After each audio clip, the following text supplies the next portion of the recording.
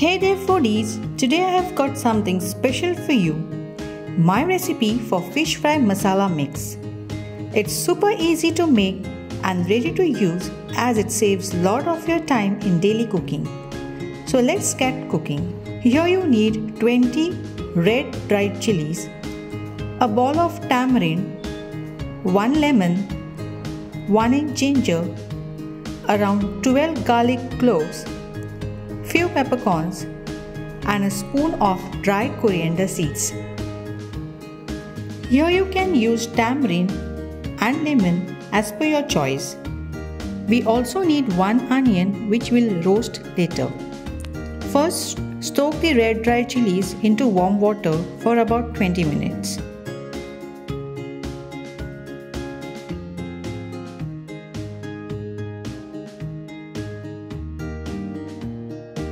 Also soak the tamarind in warm water for 20 minutes so that they become soft and can easily blend into the grinder. Now here I am roasting the onion on direct flame. Insert a fork or knife and carefully roast the onion from all the sides.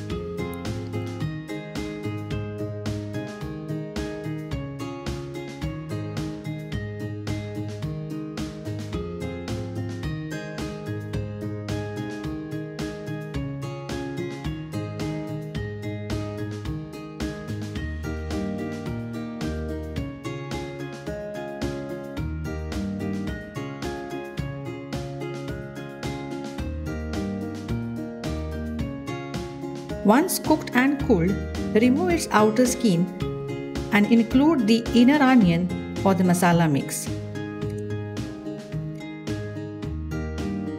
Now it's time to blend in all the ingredients. You can even add salt in this masala but I skip it as I apply salt and turmeric directly on the raw fish once cleaned.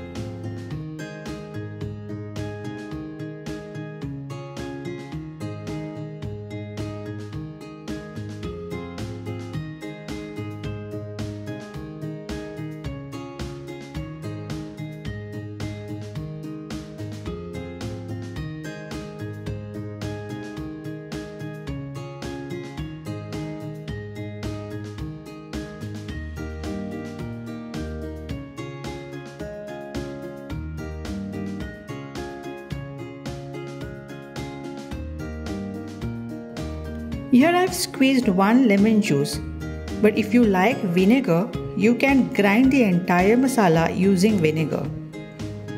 I haven't used vinegar here. I will grind this masala using little water. Add little water and make a smooth paste. Now this fish masala mix is ready. Store it into the refrigerator and use whenever needed. Now let's apply this masala on the fish and fry.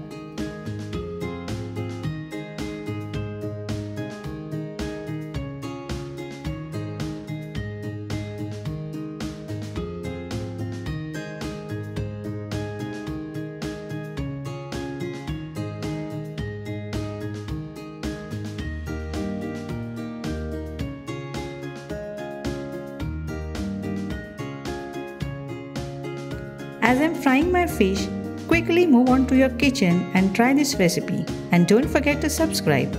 See you again with some other recipes. Until then, take care. Bye bye.